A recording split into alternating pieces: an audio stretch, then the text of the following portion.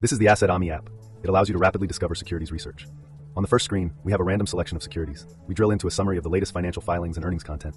We can leave a comment approving of Brinks. On the report, we can also zoom in on figures that will review the intrinsic value factors driving the rating. Another video covers that in depth. If we want to go interactive, we click over to AmiChat, your personal stock assistant. Let's see what it has to say about Amgen.